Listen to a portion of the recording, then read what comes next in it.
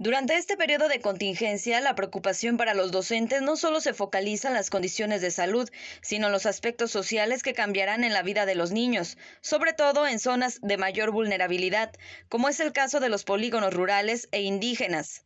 En San Luis de la Paz se encuentra la Escuela Primaria Rural Indígena Chupitantegua y Misión de Chichimecas, la primera bilingüe de la zona dedicada a preservar la lengua de origen.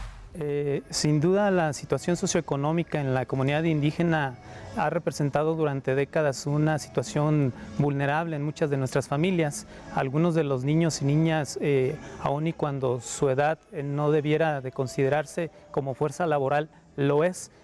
otras más cuidan a sus hermanitos, en tanto sus madres y algunos padres de familia salen en, busca del alimento.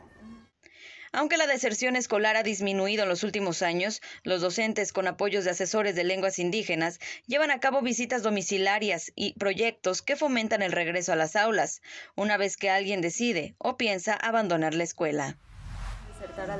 Afortunadamente en los últimos seis años eh, hemos tenido una disminución realmente ya eh, poco eh, de impacto, vaya.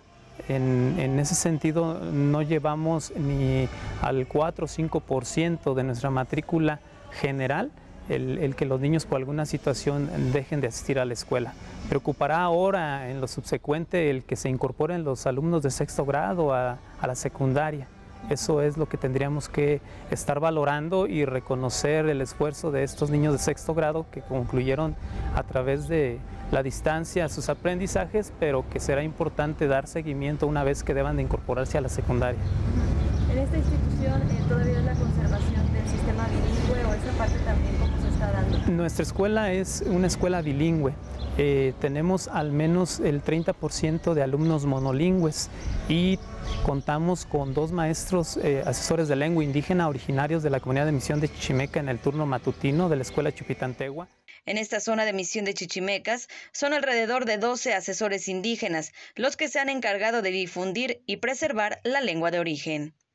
Con imágenes de Jorge Rodríguez informó para TV4 Noticias Ana Ramírez.